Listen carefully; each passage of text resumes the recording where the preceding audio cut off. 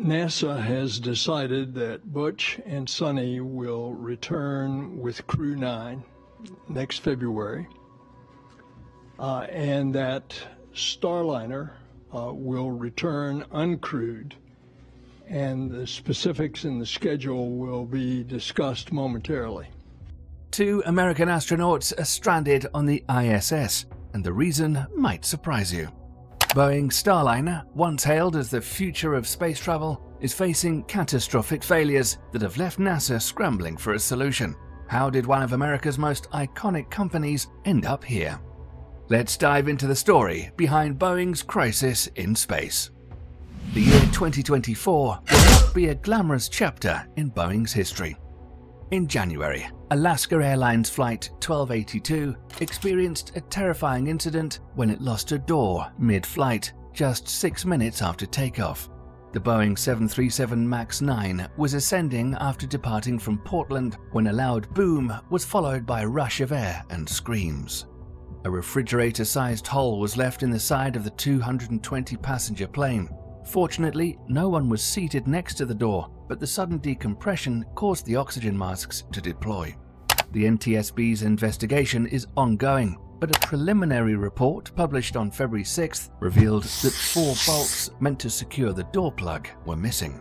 Boeing's records show evidence that the plug had been reinstalled without these bolts before the aircraft's initial delivery. In June 2024, the former Boeing CEO, David Calhoun, faced intense questioning during a Senate hearing. In July, Boeing agreed to plead guilty to one charge of conspiracy to defraud the United States over its role in two fatal 737 MAX crashes, resulting in fines of up to $487 million. Boeing's ties to the military industrial complex likely shielded it from more severe consequences, leading one victim advocate to describe the settlement as another sweetheart deal. Boeing had originally reached an agreement in January 2021 with federal prosecutors to settle criminal charges and defer prosecution. The company agreed to improve its quality control and transparency during a three year probationary period. However, the Alaska Airlines incident occurred just days before the probation was set to end, prompting a series of federal investigations into Boeing's practices. In August, Ryanair CEO Michael O'Leary criticized Boeing's management, noting that his airline had received only half of the planes it ordered. Boeing's supply chain issues and slower than expected assembly line have caused significant delays. Boeing's toxic corporate culture. It's undeniable that Boeing has a significant problem with its corporate culture. Accountability is lacking, particularly at the executive level, where CEOs frequently change. Honesty and transparency are not rewarded, as multiple whistleblowers have testified. The engineering culture that once defined Boeing has been replaced by a cover your ass mentality. On social media, Boeing has become a meme company with jokes about prioritizing diversity standards over safety standards. Not only were the US senators at the hearing unsatisfied with Dave Calhoun's answers, but Elon Musk also expressed his dissatisfaction on X, writing, The CEO of an aircraft company should know how to design aircraft, not spreadsheets, referring to Dave Calhoun's background as an accountant. As a result, Boeing appointed a new CEO, Kelly Ortberg, 64, who took up his post on August the 8th. With a 35 year career behind him, including over 30 years at Rockwell Collins, Ortberg faces enormous challenges in regaining the trust of customers, authorities, employees, and suppliers. The problems with Starliner. Now let's discuss the issues with Boeing's Starliner, which have left two American astronauts stranded on the ISS.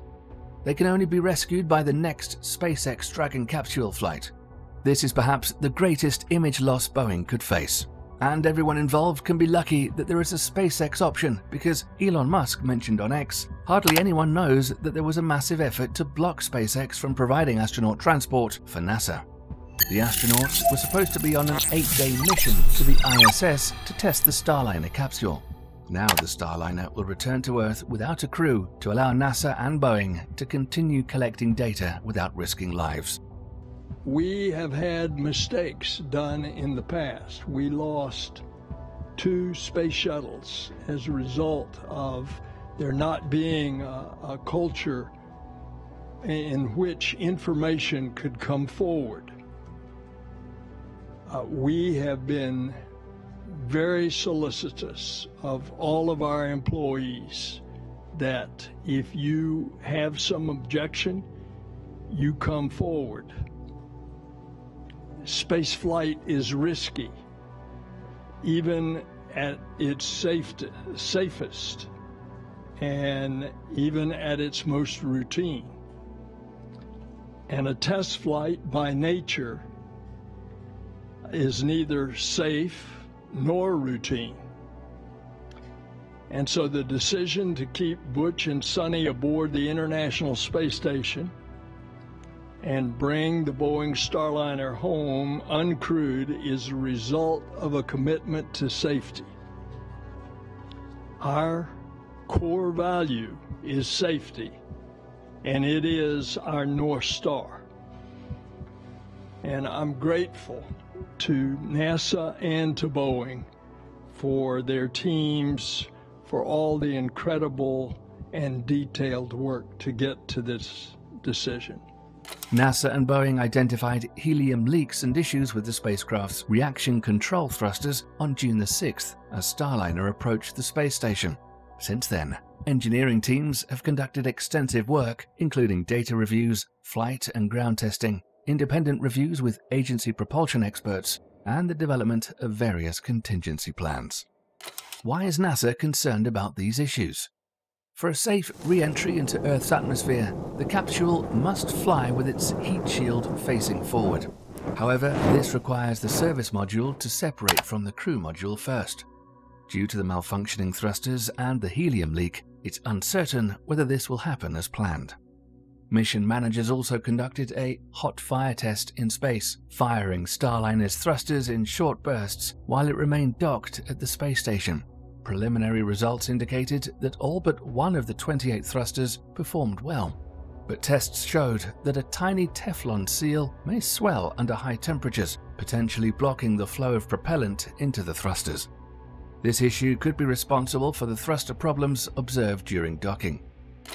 How did it come to this? The Boeing Starliner was supposed to be a game changer for space travel, but it's been hit with more delays than a rain-checked picnic. The issues began in December 2019, when the first test flight of the Starliner failed to reach the International Space Station.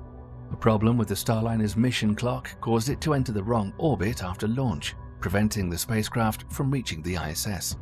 Additionally, other software issues were discovered during the flight that could have damaged the spacecraft during re-entry, potentially causing a catastrophic collision between the service module and crew capsule. The second unmanned test flight, OFT-2, planned for August 2021, was postponed due to problems with the Starliner's fuel valves.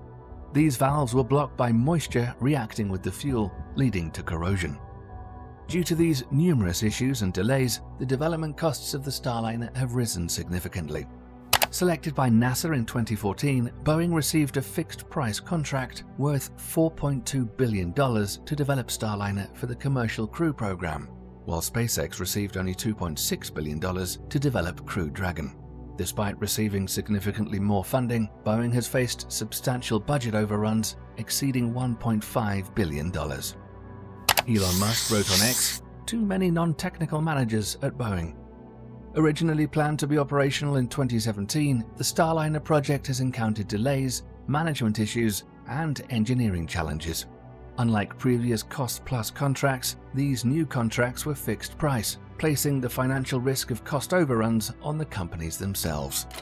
Conclusion Boeing is in a crisis that threatens its very existence their cost-cutting measures, such as reducing necessary tests and outsourcing software development for $9 an hour, were not their best ideas.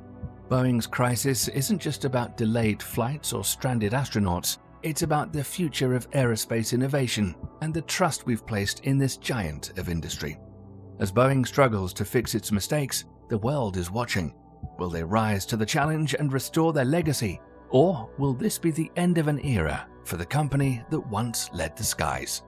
One thing is certain the next few years will determine not just the fate of Boeing, but the direction of American aerospace.